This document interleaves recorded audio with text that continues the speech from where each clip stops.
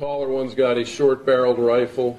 The second one has what looks like a handgun. For the first time, we're seeing dramatic surveillance video showing two men surrounding the BMW belonging to rapper XXXTentacion. See the victim's hands coming out. And right here is the moment detectives say they opened fire, killing him. Cops say the day of the shooting, here's Allen wearing black, entering Riva Motorsports, and walking right past X, who was there to buy a motorcycle. Minutes later, they say Allen goes back to that SUV before the pair make their move. While Allen's attorney argues he should be granted bond, the judge denied that request.